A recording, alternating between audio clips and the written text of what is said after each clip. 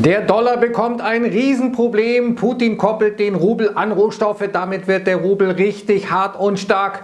Das haben viele nach äh, einigen meiner Videos äh, zuletzt gesagt. Und jetzt entsteht paradoxerweise eine Situation, dass gerade die Stärke des Rubels äh, für Putin ein Riesenproblem ist, Problem wird.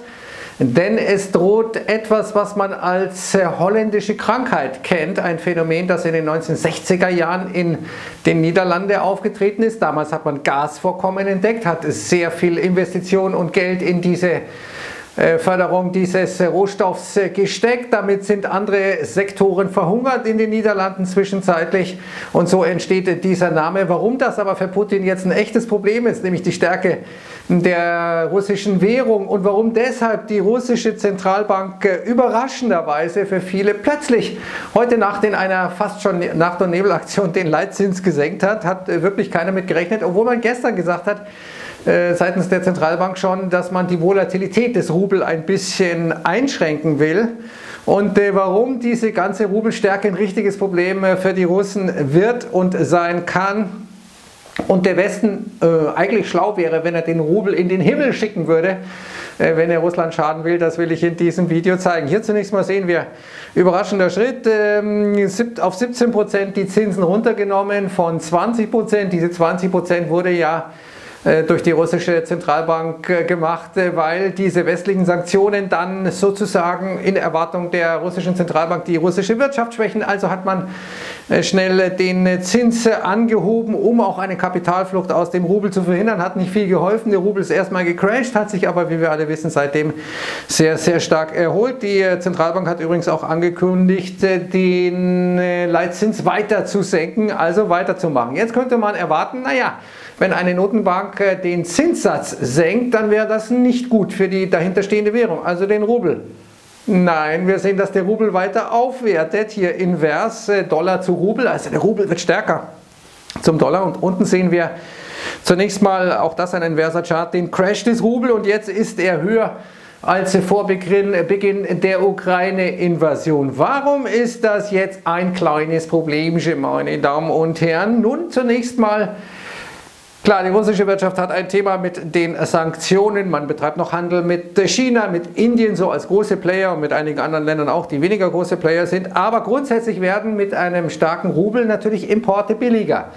Das heißt, dieser starke Rubel, wenn man den Rubel zahlen kann, der bringt mehr, mehr Waren aus dem Ausland rein. Äh, und dementsprechend wird auch in der Regel mehr importiert, während der Export russischer Waren tendenziell teurer wird. Und jetzt kommt ja noch dazu, dass ja jetzt der Putin äh, diese komische Geschichte gemacht hat mit der Gazprom-Bank. Also die Westler, die zahlen weiter in Euro und Dollar auf ein Rubelkonto. Das wird dann sofort in Rubel umgewandelt durch die russische Zentralbank. Was bedeutet das, wenn der Rubel stark ist? Dass die Russen weniger Rubel dafür bekommen, dass also sozusagen der Verdienst, die Einnahmen Russlands sinken und nicht steigen in Rubel. Und das ist ein riesiges äh, Thema. Hinzu kommt, dass eben die Exporte teurer werden. Also von Exporten ist jetzt in den Westen ja keine Rede mehr, aber wie gesagt nach China, äh, Indien, Iran etc. durchaus schon. Und ein starker Rubel führt auch zu einer sogenannten Faktorpreiserhöhung, wie die Wirtschaftswissenschaftler das nennen, eine Faktorpreiserhöhung. Du sagst halt, äh, äh, Löhne steigen, Kosten steigen. Bums, ne? einfach. Aber nein, Faktorpreiserhöhung. Inländische Produktion von Faktoren, das heißt von Produktionsgütern bzw. die Bezahlung von Arbeitskräften, haben wir nochmal eine Erklärung, wird auch teurer. Das heißt, das äh, führte zu einem Wettbewerbsnachteil tendenziell. Und ähm, das ist natürlich nicht so schick jetzt äh, für die russische Wirtschaft. Und jetzt kommt natürlich noch dazu, dass ähm, Russland hat äh, folgende Situation. Allein der Export von äh, Öl und Gas macht etwa 20% des russischen BIPs aus, 40% der Steuereinnahmen und äh, 60% der Exporte. Jetzt nehmen wir mal noch mal ein paar andere Rohstoffe dazu. Nickel oder Aluminium, was verarbeitet wurde.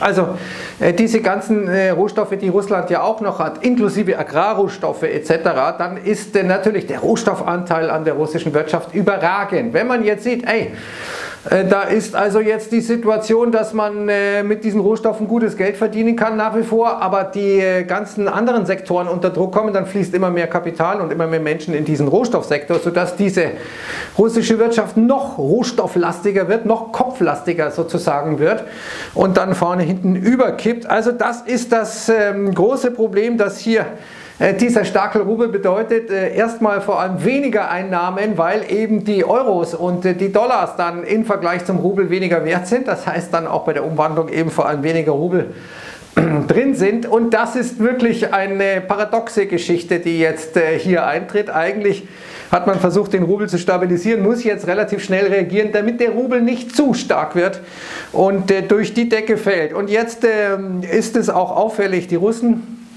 haben gestern ja in Gestalt äh, ähm, des äh, Sprechers des Weißen Hauses ja gesagt, also wir haben signifikante Verluste unserer Truppen, aber auffallend ist, nach allem, was man weiß, in diesem Krieg ist vieles sicherlich unklar und vieles Propaganda, aber nach allem, was man weiß, holt Russland die toten Soldaten nicht zurück, während auch unschöne Bilder äh, die da natürlich entstehen könnten. Erstens und zweitens hat Putin eben versprochen, na, jeder Tote jeder gefallene Soldat, der gibt es umgerechnet 45.000 Dollars für die Familien, aber wenn die vermisst sind, also offiziell nicht für tot erklärt sind, dann gibt es keine Rubel, auch keine starken Rubel für die russische Bevölkerung. Und auch das dürfte früher oder später den Russen ein bisschen sauer aufstoßen, wenn ihre Söhne äh, die tot sind, nicht nach Hause kommen. Jetzt ähm, hat äh, von der Leyen ist in Kiew eingetroffen und bisher war ich in den letzten Tagen äh, für die ukrainische Seite etwas optimistischer, was den Krieg betrifft. Aber das ist ein echter Rückschlag. Wo von der Leyen ist,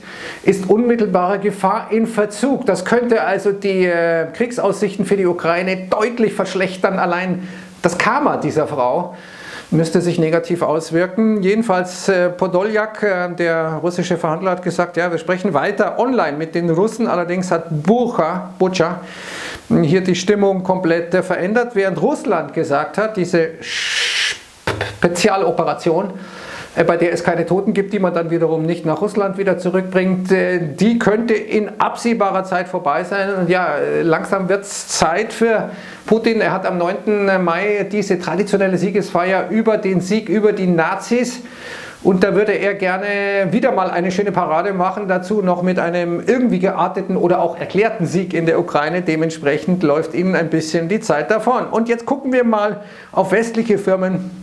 Hier ein großartiges Beispiel, Shell zum Beispiel. Die haben jetzt gesagt, äh, es gibt ja diese Probleme mit russischem Öl. Viele westliche Firmen, obwohl wir noch kein offizielles Ölembargo jetzt gegen Russland haben, transportieren ja kein Öl, weil A, die Schiffe nicht, versicherbar, nicht mehr versicherbar sind, weil es sanktionsgefährdet wäre, dann äh, denkt man sich, jedenfalls passiert das nicht. Jetzt hat aber Shell gesagt, also solange da bei der Förderung nur 49,99% Russen äh, beteiligt sind, ist das für uns kein russisches Öl. Ne? Wenn jetzt ein Russe zu viel ist, ne, dann musst du den irgendwie ins Bohrloch schmeißen oder schnell beseitigen. Ne? Vielleicht kriegt er dann äh, die Familie äh, 45.000 Dollar. Dann hast du die Quote, ne? ist kein russisches Öl ne? und eine Familie profitiert, muss man mal drüber nachdenken. Also sehr schlaue Strategie. Und jetzt kommen wir zu something completely different, meine Damen und Herren, zu den Finanzmärkten.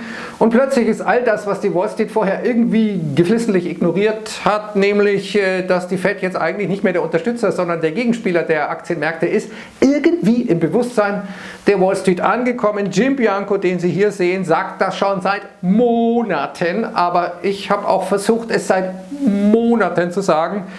Allein es wurde nicht geglaubt. Jetzt äh, sieht man in, äh, bei CNBC, diesem maßgeblichen US-Finanzcenter, hier eine Runde, die dann auf Jim Bianco reagiert und äh, sagen, ja genau, er bringt auf den Punkt. Die Fed ist jetzt der Gegenspieler. Alleine diese Aktion mit den Mortgage-Backed Securities, ähm, die ist ein klares Zeichen, dass vor allem ein Markt ein Problem bekommt, nämlich der US-Hausmarkt. Und jetzt die Bank of America plötzlich mit einer etwas unschönen Einschätzung. Man sieht einen Inflationsschock sich weiter verschlechtern, einen Zinsschock, der gerade erst beginne und äh, ein Rezessionsschock werde kommen. Echt jetzt? Also wie die da drauf kommen. Dementsprechend dürften die Einkaufsmanager-Indizes ISM bald unter 50 fallen, das Wachstum unter 50 fallen. Und äh, vor allem Cash, ähm, Volatilität, äh, Rohstoffe und Krypto Anleihen und vor allem auch Aktien outperformen, weswegen die Bank of America davon ausgeht, dass wir beim S&P 500 unter äh, die 4000er Marke fallen werden. Das wäre immer noch ein kleiner Schnaps, über 10%. Und vor allem die Bank of America hat auch ein Feedback von ihren Kunden, die sagen, Bill Dudley in everyone's mind right now. Bill Dudley, ehemaliger New Yorker Fed-Chef, hat ja klar gesagt, die Fed will die Aktienkurse runterbringen, um die Financial Conditions zu straffen.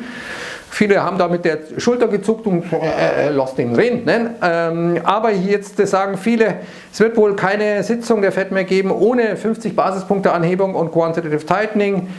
Und äh, jetzt ist nur die Frage Rezession oder Stagflation. Rezession ist jetzt äh, Konsensus.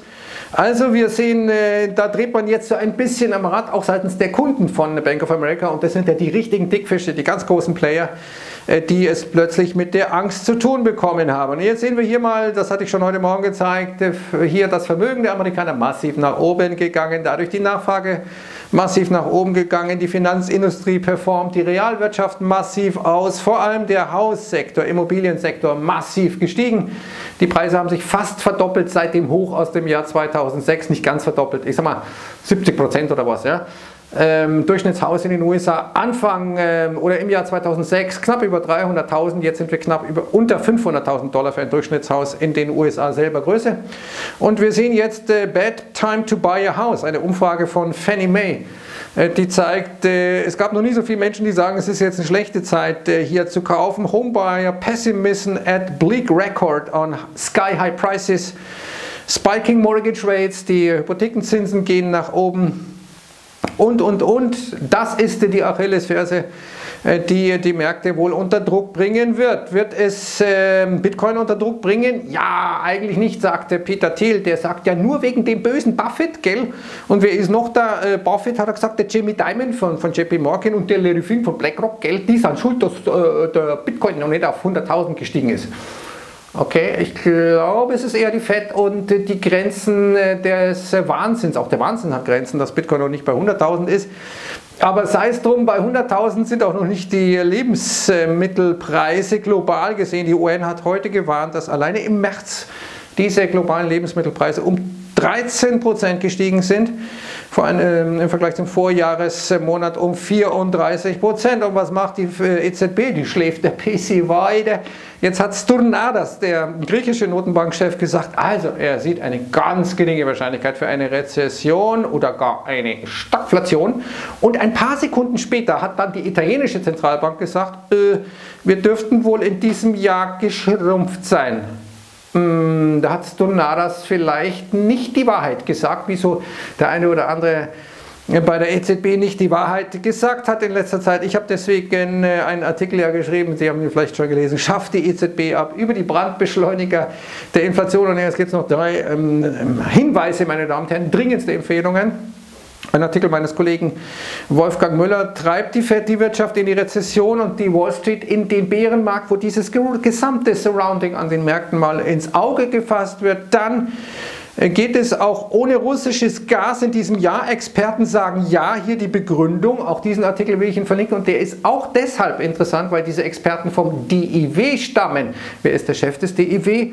Marcello Fraccerino. Also wenn die sagen, wir schaffen das ohne Gas, dann wäre ich sehr vorsichtig. Genauso wie bei den Inflationsprognosen von Herrn Fratscher und dem DIW. Und abschließend dann noch ein Artikel von mir über ähm, Heiner Flassbeck. Was bedeutet es, äh, wenn man sich äh, fremdschämen muss für einen Ökonomen, der wirklich sagt, wir haben gar keine Inflation. Das ist äh, Preisauftrieb, keine Inflation. Nein, großartig. Also dieser Mann hat den Nobelpreis äh, für Hirnfreiheit verdient. Wenn Ideologie das Hirn vernebelt, habe ich das Ganze als Untertitel äh, noch äh, genannt. Auch das bitte ich anzuschauen. Am Wochenende haben Sie ja jede Menge Zeit. Wir sehen uns hoffentlich am Montag wieder. Ich sage jetzt mal unter Verweis auf diese drei Artikel unter dem Video. Servus und ciao.